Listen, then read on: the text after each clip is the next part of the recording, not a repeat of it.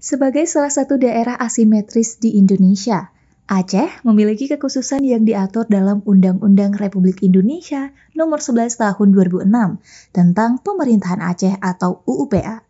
Undang-undang ini merupakan lex specialis derogate lex generalis dari peraturan perundang-undangan lainnya yang berlaku di Indonesia. Hal tersebut disampaikan oleh Gubernur Aceh Nova Iriansyah dalam sambutannya pada acara kunjungan kerja Menteri Pemuda dan Olahraga Republik Indonesia dan rapat kerja bersama Komisi 10 Dewan Perwakilan Rakyat Republik Indonesia dalam rangka reses masa persidangan ketiga tahun sidang 2021-2022 di Gedung Serbaguna Setda Aceh, Rabu 23 Februari 2022. Jika berbicara tentang kepentingan Aceh dalam kaitannya dengan bidang tugas Komisi 10 DPR Republik Indonesia tersebut, maka mau tidak mau kita harus membahas sedikit mengenai Undang-Undang Republik Indonesia Nomor 11 Tahun 2006 tentang Pemerintahan Aceh atau UUPA ujar Nova. Dalam sambutannya, Gubernur juga menyinggung tentang pelaksanaan Pekan Olahraga Nasional 21 tahun 2024 yang akan digelar secara bersama oleh pemerintah Aceh dengan pemerintah Provinsi Sumatera Utara. Gubernur menjelaskan kesuksesan gelaran PON 21 sangat membutuhkan dukungan dari pemerintah pusat.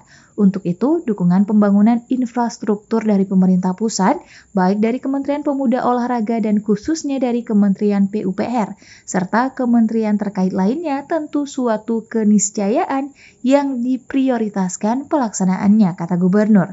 Menanggapi hal tersebut, Ketua Tim Reses DPR Republik Indonesia yang juga menjabat Wakil Ketua Komisi 10 DPR Republik Indonesia, Abdul Fikri Fakih, berjanji akan segera menindaklanjuti hal tersebut sebagai bentuk penghormatan atas perintah undang-undang dan bentuk pengimplementasian kekhususan Aceh. Sementara itu, terkait pelaksanaan PON 21, yang sudah semakin dekat, Menteri Pemuda dan Olahraga Zainuddin Amali berpesan agar pemerintah Aceh terus berkoordinasi dengan pemerintah Provinsi Sumatera Utara serta pihak terkait lainnya demi suksesnya event olahraga yang baru pertama kali digelar di dua daerah berbeda. Perkuat koordinasi lintas sektor agar event ini berlangsung sukses. Maksimalkan fasilitas yang ada, banyak talenta asal Aceh yang muncul bahkan dari luar Aceh. Potensi ini tentu harus dimaksimalkan agar membawa harum nama Aceh di masa mendatang. Ujar Menpora.